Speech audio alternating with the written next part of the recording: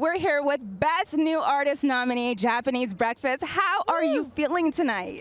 I'm feeling great. I'm very, very excited. Best New Artist, that's quite the nomination, guys. Did you ever think this would be possible?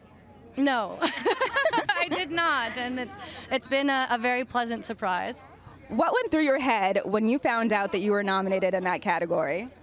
Um, I my mind was blown. I really I had no idea that we are going to be nominated for any Grammys, let alone two in, in, in, a major category. So yeah, I'm just delighted. What can I say? Well, we can't let you leave without talking yes. about this incredible ensemble here, from the nails to the eyes to the dress. Tell us everything. Yeah. Um, so this is Valentino Couture, um, my my good friend who actually used to do like styling and uh, like video production for me on music videos is now a nail artist. Her name is Celeste Welch. And on our album cover, Jubilee, there are hanging persimmons. Uh, and so she made little miniature persimmons uh, to hang from my nails. That is so cool. She killed it on your nail.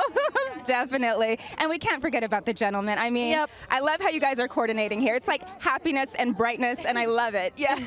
yeah. That's the vibe of the album, so that's the vibe we wanted to present. love that. Love awesome. that. Well, thank you so much for stopping and talking with us. You guys have a great night. Congratulations, guys. Yeah, congratulations. So excited Enjoy the you. night.